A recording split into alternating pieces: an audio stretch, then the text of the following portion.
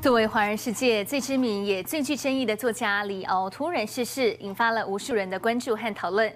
同时呢，也让李敖的好朋友，也是他台大求学时期的室友孙英善相当不舍。现在呢，借由东森新闻的镜头，特别来分享李敖他不为人知的一面。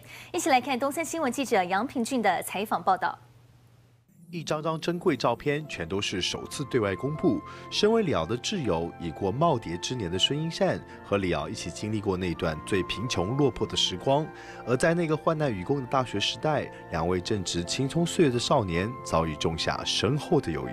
台大毕业时候，他的照片送给我的照片，他不用学士帽，他写的几句话，他说：“记忆里。”过去的三年，我的一切都没有了，都不属于我了。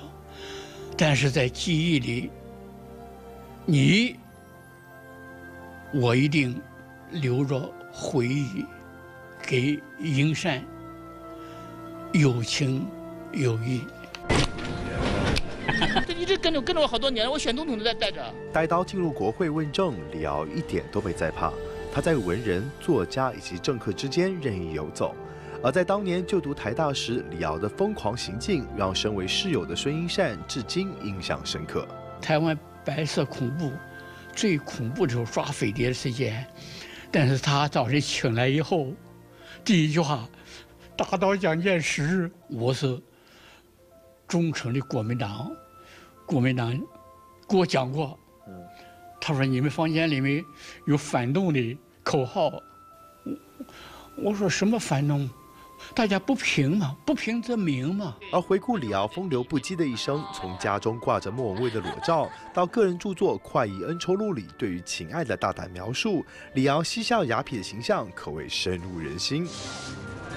他给写的，他说：“阴善清赏，啊。”他是黄色刊物，要限制阅读。他从来都不正经，喜欢开玩笑。拿出一九九九年回台湾时与李敖的合照，孙英善依稀记得，当年是在李敖的帮助下才凑齐来美留学的经费。有钱有义的性格，更因为一本胡适文选，让李敖成了胡适的超级粉丝。在台大宿舍，他的赚钱之道之一。就是写文章，任何人写有关胡适的文章，他都要写文骂你写的不对，如何如何，这一骂有稿费。你杨先生写一篇文章关于胡适，他可以赚两份钱，赚了很多稿费，所以他文采很好。对于没有启动历来不会为世尊重，我们也不会特别说明。而面对闹得沸沸扬扬的包养令争议，尽管李瑶家人早已婉拒，身为好友的孙英善仍有话要说。我认为政客如蔡英文，很容易很会打顺风车，很容易捡便宜，把李瑶这个活偶像拿来利用。那你从前他倒霉的时候？你为什么不敢讲话？我把我被查禁的书、书名、出版年月、被查禁的号码、被查禁的罪状，一列那个表，你们看看这个表啊，被查禁的表有多长？你们看。而放眼李敖的大陆行，则成为他一生中最重要的里程碑。在内地举办演讲，李敖同样自信满满。被老友笑称是在摸老虎屁股的李敖，犀利直接的作风，一针见血的风格，也正是广大读者喜爱他的原因。执政者讲什么，我要讲反的，他就是他的性格。你叫他去逢迎什么人，恭维什么，他他不能做。国民党的独台也好，民进党的台独也好，对中国对大陆有点怕。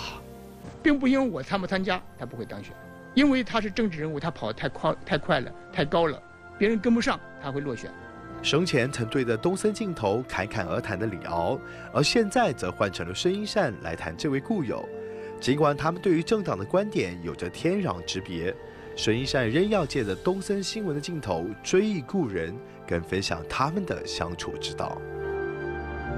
不能设立政治信仰，不要设立。男女关系不要涉猎生活习惯。我对李敖这种特立独行，我非常的敬佩。今天我们给李敖从那时候那么穷，能够混碗饭吃，能有今天，我们所坚持的就是这个信仰。一代狂人李敖潇洒的离去，外界或褒或贬的评论早已不再重要。李敖敢于真实表达、敢说敢做的个性，一定会被这个时代记住。李敖的一生就是狂。东森新闻李宗尧、杨平俊，洛杉矶采访报道。